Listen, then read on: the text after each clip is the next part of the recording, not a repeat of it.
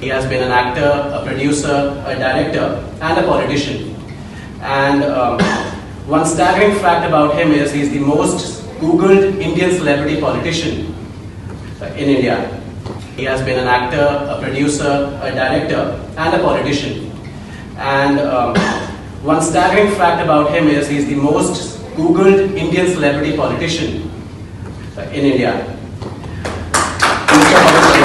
Like to invite you and I would uh, like to request you to share your uh, views and your opinions on this uh, bilateral relationship between India and Europe.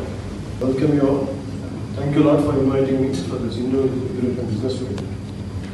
And thank you, ma'am, for being here. And it's a privilege to be here. But for me, I'm not here to hard sell about uh, Indian uh, group or Indian prosperity. But what I would like to tell you is, I want to talk about the nation India. When I'm talking about nation, it is not about government, I'm talking about people. And I know any investor who would like to invest money back in India, I want you to know what kind of country we have. A lot of people in India look up to him and he is a really strong influencer in India. And uh, I agree with him, Andhra is one of the most uh, beautiful states that you'll get to visit in India. And uh, the special economic zones in uh, uh, Andhra does make it a IT hub, maybe after Bangalore, but it's a very strong city if you see technology wise. He has been an actor, a producer, a director, and a politician. And um, one staggering fact about him is he's the most Googled Indian celebrity politician in India.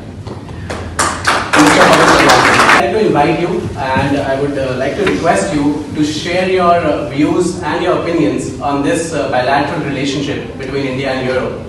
Welcome you all. Thank you a lot for inviting me for this Indo-European Business Week. And thank you, ma'am, for being here. And it's a privilege to be here. But for me, I'm not here to hard sell about uh, Indian uh, group Indian prosperity. But what I would like to tell you is, I want to talk about the nation India. When I'm talking about nation, it is not about government, I'm talking about people. And I know any investor who would like to invest money back in India, I want you to know what kind of country we have. A lot of people in India look up to him and he is a really strong influencer in India.